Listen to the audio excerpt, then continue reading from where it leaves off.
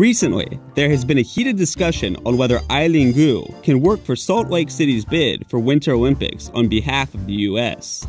Actually, worldwide, it is not unusual to invite influential and well known foreigners to serve as ambassadors for the Olympic bid.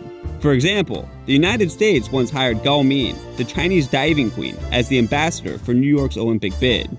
Chinese figure skating pair Shen Xue and Zhao Hongbo served as ambassadors for the Pyeongchang Winter Olympics in South Korea.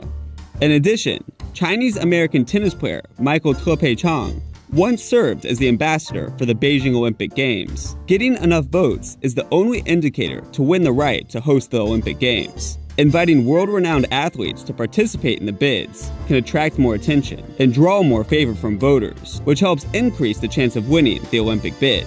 Due to the same reason, the ambassador for the Olympic bid is not necessarily an athlete. It can be celebrities from other fields, or people related to local culture. It may not even be a human. When Tokyo bid for the Olympic Games, they used the manga character Doraemon as the Olympic bid ambassador. Yep, that explains it.